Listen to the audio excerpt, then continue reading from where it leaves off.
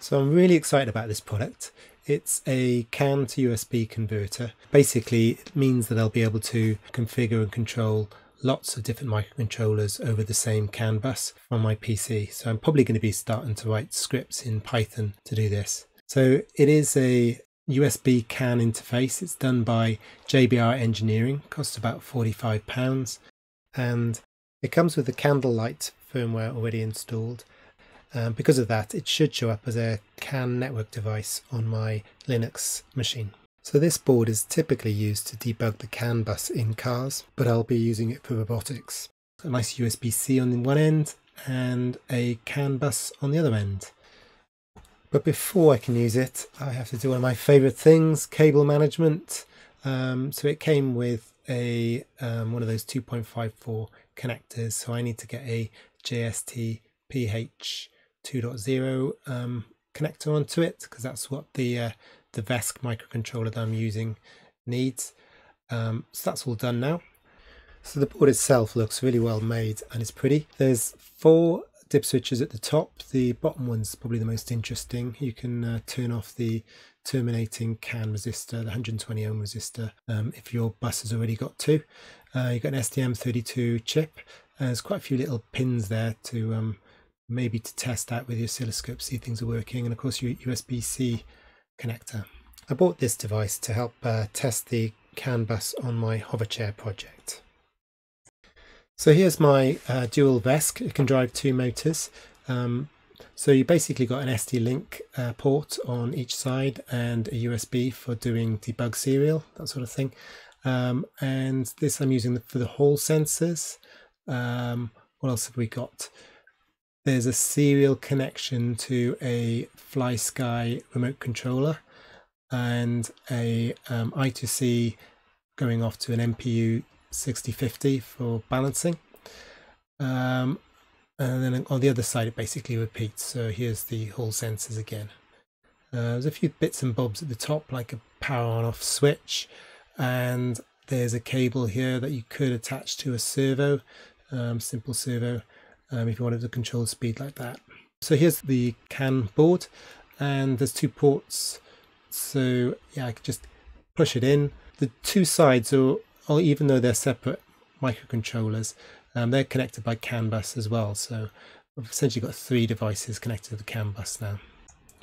So now comes the exciting bit where I get to try my um, my USB CAN converter. Um, we've got this set up, it's powered, and if I leave it like this, basically one side is connected to the um, the serial sort of wireless thing, and the other side is receiving CAN bus messages. Um, so that's why both motors are, are moving. Um, so this is connected now. You can see the lights are on, which basically means if I do ls USB, um, you can see here um, JBR Engineering Entree GSUB. And I think this one's related. I'm not quite sure why it sometimes shows up too. Um, but yeah, it's it's up. And similarly, if I do IP address it'll show the CAN 0, its link is there. But it says the state is down. So um, how do I change that? This is a nice um, yeah, guide. It's actually for um, Raspberry Pi. I haven't mentioned really, but I'm using on Ubuntu here. So this guide is somewhat Linux um, specific. Um, but a lot of you have got Raspberry Pis or Jetson Nanos, I imagine. So you could try this out with one of those. So um, yeah, I need to set the bit rate before I bring the CAN bus up. So I'll do that. My microcontrollers are set to talk at 500,000 bits per second. And then I want to bring my link up. So IP link set up CAN 0. Done that.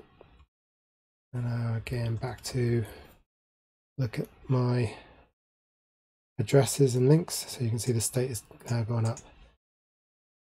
And if I want to I can, candump out these messages. So each message that's sent across the CAN bus will now appear on my screen. So and you can see it. So what's this saying? CAN 0 is the device as far as the Linux box is concerned.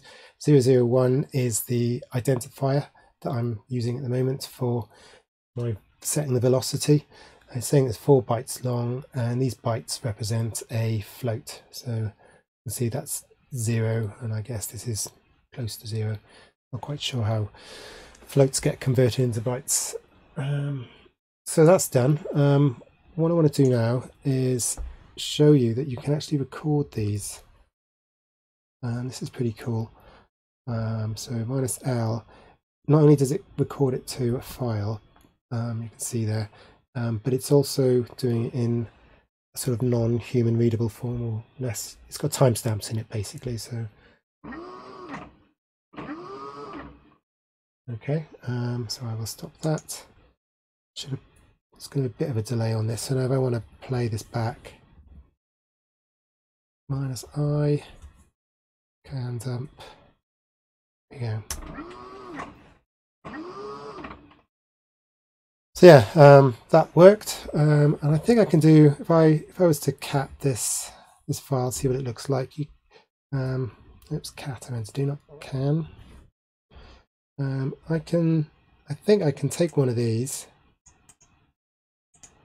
and call cansend which will basically send that um, probably send a quite a slow velocity um, why did that not work oh space don't need a space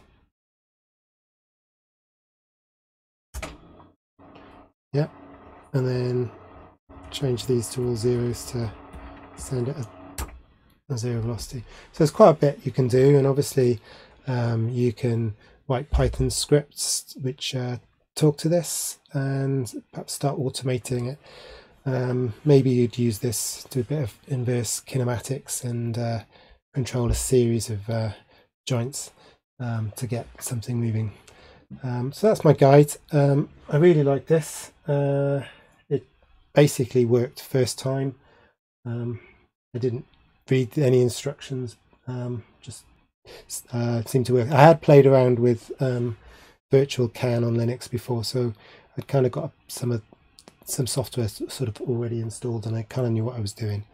Um, but very impressed with JBR, JBR engineering. So um, yeah, definitely good buy. So if you like this video, please subscribe and like.